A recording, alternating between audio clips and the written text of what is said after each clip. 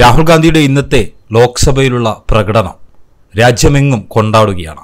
ദേശീയ മാധ്യമങ്ങളടക്കം വലിയ പ്രാധാന്യത്തോടെയാണ് രാഹുൽ ഗാന്ധിയുടെ പ്രസംഗം റിപ്പോർട്ട് ചെയ്തത്. സോഷ്യൽ മീഡിയ പ്ലാറ്റ്ഫോമുകളിൽ രാഹുൽ ഗാന്ധി ബി ജെ പിക്കെതിരെ ആഞ്ഞടിക്കുന്ന പ്രധാനമന്ത്രി നരേന്ദ്രമോദിക്കെതിരെ ആഞ്ഞടിക്കുന്ന വീഡിയോയുടെ ക്ലിപ്പിങ്ങുകൾ വളരെയധികം വൈറലായിരിക്കുകയാണ്. സത്യത്തിൽ രാഹുൽ ഗാന്ധിയുടെ രണ്ടാം വരവ് വലിയ ആഘോഷത്തോടെയാണ് രാജ്യത്തെ ജനങ്ങൾ കൊണ്ടാടുന്നത്. അതുകൊണ്ട് തന്നെ ബി രാഹുൽ ഗാന്ധി എന്ന നേതാവിനെ എങ്ങനെ തളച്ചിടാമെന്ന പദ്ധതികൾ ആസൂത്രണം ചെയ്യുകയാണ്.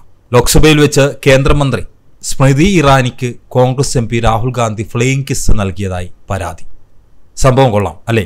അവിശ്വാസ പ്രമേയ ചർച്ചയുടെ ഭാഗമായുള്ള പ്രസംഗത്തിന് ശേഷം സഭ വിട്ടു പോകവേ രാഹുൽ ഗാന്ധി പ്ലെയിങ് കിസ് നൽകിയെന്നാണ് കേന്ദ്രമന്ത്രി സ്മൃതി ഇറാനി ആരോപണം ഉന്നയിച്ചത്. പിന്നാലെ ബി ജെ പിയുടെ വനിതാ എം പിമാർ രാഹുലിനെതിരെ ലോക്സഭാ സ്പീക്കർക്ക് പരാതിയും നൽകി. മണിപ്പൂർ കലാപവുമായി ബന്ധപ്പെട്ട് കേന്ദ്ര സർക്കാരിനെ കടന്നാക്രമിച്ചുകൊണ്ടുള്ളതായിരുന്നു രാഹുൽ ഗാന്ധിയുടെ പ്രസംഗം. അതിനുശേഷം രാജസ്ഥാനിലേക്ക് പോകുന്നതിനായി രാഹുൽ ഗാന്ധി ലോക്സഭ വിട്ട് പുറത്തേക്ക് പോയി. രാഹുലിന്റെ പ്രസംഗത്തിന് മറുപടി നൽകവെയാണ് സ്മൃതി ഇറാനി അദ്ദേഹത്തിനെതിരെ പ്ലേയിങ് കിസ് ആരോപണം ഉന്നയിച്ചത്. എന്തായാലും സ്മൃതി ഇറാനിയുടെ ആരോപണം കേൾക്കാൻ രാഹുൽ ഗാന്ധി അവിടെ ഇല്ലാത്തത് നന്നായി.